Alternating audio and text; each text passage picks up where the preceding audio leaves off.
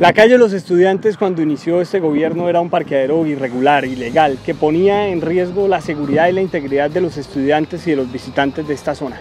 La transformamos con un urbanismo táctico y ahora vamos más allá. La estamos convirtiendo en una gran plaza, en un gran parque para el disfrute de todos los ciudadanos, con espacios públicos de calidad, mobiliarios de calidad y el mejor alumbrado público posible. Este es uno de los sectores más concurridos de la ciudad y sus visitantes, sus usuarios se merecían esta obra desde hace muchos años. Estamos invirtiendo más de 3.900 millones de pesos. Vamos a culminar esta obra a finales del año 2019 para que el próximo año escolar se reciba ya totalmente culminada para el disfrute de los estudiantes. Lo estamos haciendo con determinación, con transparencia y con rigor. Somos el gobierno de los ciudadanos elegido por los ciudadanos.